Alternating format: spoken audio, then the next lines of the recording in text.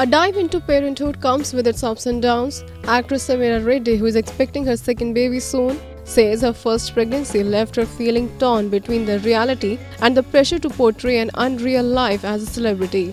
Sameera married businessman Akshai Varde in 2014. She delivered her firstborn, a son, in 2015. I got pregnant in just a couple of months after my marriage. The game plan was to have the pregnancy and bounce back and getting in the limelight again. But I have never experienced anything like that. It was just the opposite. It was the worst case scenario of what I could have imagined in terms of my body and the way I fell apart as a person because the pregnancy was very tough for me, Sameera told IANS.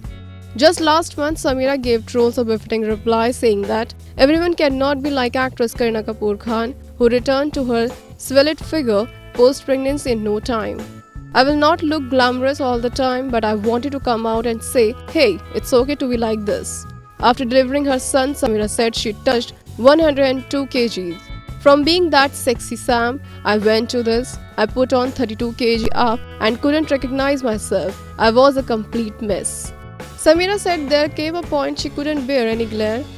Everyone knew I was feeling depressed, but I was a good mother.